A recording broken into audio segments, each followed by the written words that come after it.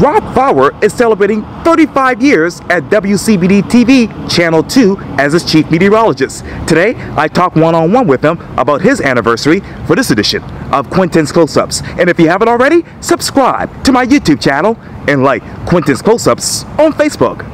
Chief Meteorologist Bob Fowler, welcome back to Quintin's Close Ups. It's always a pleasure, Quinn, to be on your show, and we're on your show in our brand new set here at News 2. We just christened it uh, very recently. Recently. So, what does that mean for you as a meteorologist? Well, we're sitting in the Weather Center, and the old Weather Center we had didn't have all the capabilities that we have now. So, everything's at our fingertips. We've got monitors in front of us on both sides, so we can have all four meteorologists uh, working a severe weather event at the same time and uh, it just gives us all the tools that we need at our fingertips. We don't have to go too far, and if there's a breaking weather situation like a tornado warning or a hurricane warning, uh, we've got all of us here all ready to go. Oh man! Speaking of which, you know, back in North, North Mount Pleasant last Saturday, they had a, a they did tornado. They did.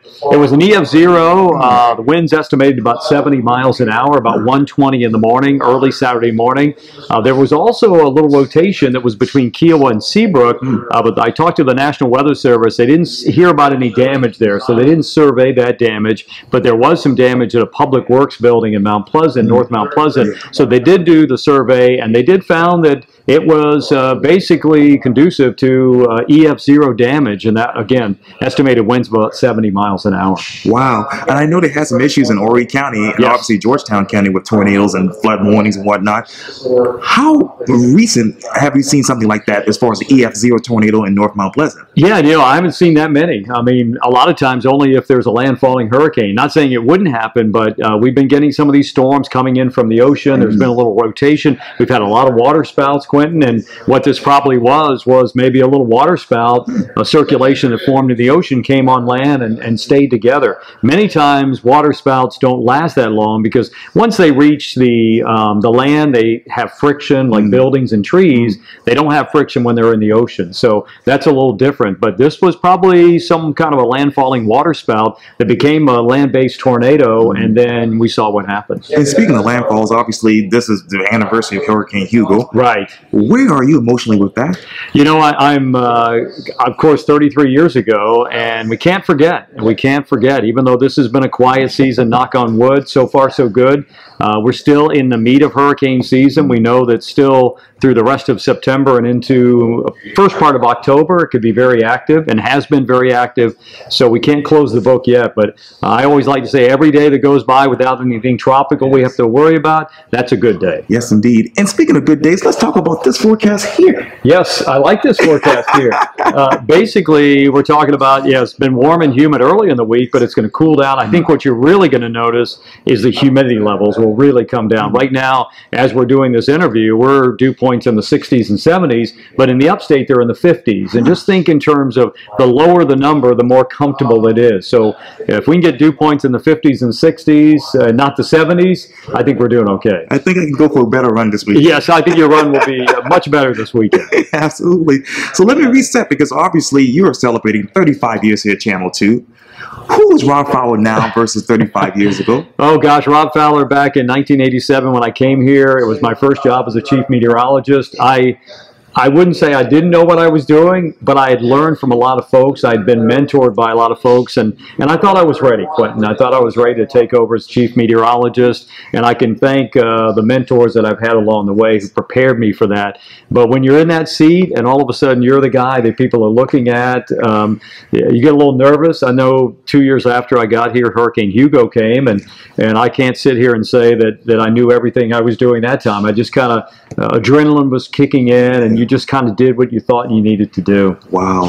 So going forth, who can we expect from our Rob Fowler as chief meteorologist? Well, Rob Fowler is still going to be the same guy. Um, I still take a deep breath every show before I go on the air, whether it's good weather or bad weather. Uh, I know people are counting on us. I know that's our job, whether it, the weather is severe, whether the weather is like it is today, a mostly sunny day. So I'm a grandfather now, Yes. so I've changed quite a bit in terms of uh, my priorities. Still, obviously, family is number one. You know, God is number one, family, and then and then my job. But I have such a great family here, Quintin, that that I, when I come to work each and every day, it's like going to a family reunion because you, you you've worked with some of these folks for so long Yes. that uh, so I, I hope I'm a better person after 35 years. I've learned a lot, and uh, and obviously when you get older, uh, you start looking at different things being the most important thing in your life, and and obviously family is so very important to me, and this job and the people who have been watching for all these 35 years are very important because they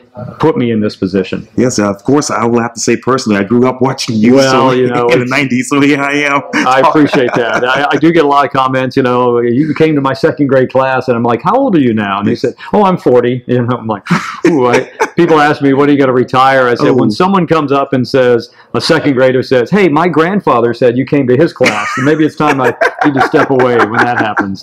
Because you know, Brenda Jones, who used to work here, freaked oh. out, was freaking out. She texted me, and she's like, "Is Rob retiring?" I said, "No, no, no. He's just celebrating." 35 years. Yeah, recently they did a wonderful job. They surprised me. I knew they were going to do something, yes. uh, but what they did was just over and above. Uh, they went back and got a lot of folks uh, who I've worked with in the past. They got some surprises. My family showed up, and uh, it was just quite the tribute, Quintin. And I'm, I'm always indebted to to my family here at Channel 2 for making that very, very special. But yeah, if you just tuned in, it may have looked like uh, maybe I was retiring, but I'm not retiring, uh, not, not anytime soon. Oh, no. I, well, this station needs you, this community needs you, so we hope not soon. well, uh, when I do retire, and that's uh, when a few years down the road, this this is where we've made our home, and mm-hmm. and uh, we will continue living our life right here in the Charleston area. That's been so good to us, and and uh, can't say enough great things about this community. I know I'm going to be very busy because of politics and whatnot, but for the next two months, how will the weather look here in Charleston? Well, I was just looking at uh, you know we can't go too far out, yeah. but I was just looking at an eight to fourteen day forecast, and looks like it's going to be above above normal. So mm. Um, fall officially arrives on the 22nd of September, but we know here in the Charleston area it can still get hot in, in late September and early October. Uh, I always kind of judge the cool weather by the fair. Once the fair gets here late October, then we usually get a good cool down, but uh, I don't see anything anytime soon. Now it's going to cool down a little bit, but nothing really cold. Well, that's great to hear. Yeah. Well, the Lowcountry's chief meteorologist, Rob Fowler, thank you for your time again. Welcome back to Quintin's Close-Ups. Thank you, Quintin, and always a pleasure. And welcome to our new studio yes. here at Channel 2. Yes, this is amazing.